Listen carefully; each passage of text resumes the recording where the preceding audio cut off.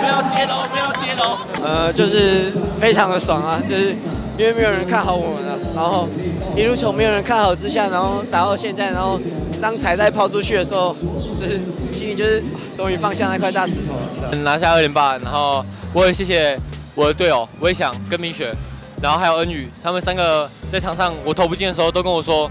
我是全队最好的射手他们要我投。他们就说不管有没有进，他们都会相信我。然后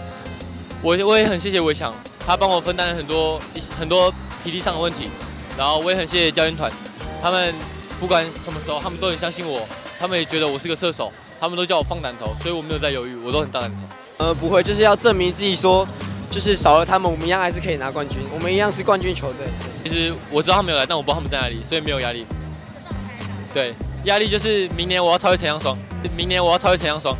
明年我要超越陈阳爽。没有啊，开玩笑。